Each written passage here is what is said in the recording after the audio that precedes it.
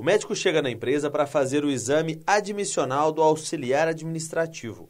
O procedimento é o mesmo da clínica. O trabalhador responde a um questionário, é aferida a pressão. Em seguida, o documento é digitalizado e vai para um banco de dados do aplicativo que oferece o serviço. Primeiro ponto, segurança para o colaborador.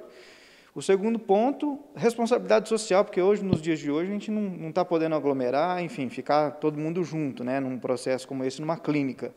E terceiro é praticidade e conforto. Né? O médico vem até a empresa, realiza o exame e ali mesmo ele já retira o resultado e, e já repassa para o setor de RH. Pelo aplicativo é possível fazer exames admissionais, demissionais e periódicos. Vantagem também para a classe médica. O profissional pode agendar os horários nos intervalos em que estiver livre. Isso sem vínculo empregatício. Ele pode encaixar na sua agenda do dia, nas folgas que ele eventualmente tiver nessa agenda, e fazer atendimentos de medicina do trabalho e ter uma receita rápida com isso, sem muita burocracia e, repito, sem ter nenhum custo com isso. O Ricardo já tem uma empresa focada em medicina do trabalho. A startup é a modernização do processo de prestação do serviço.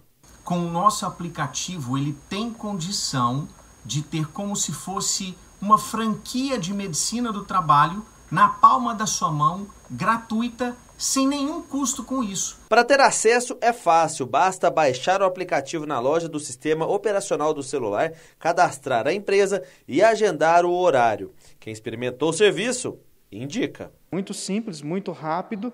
É, isso é inovação, né? Transformar um processo já existente num, em algo tão moderno, tão né, rápido, tão eficaz como é o aplicativo da Go Doctor.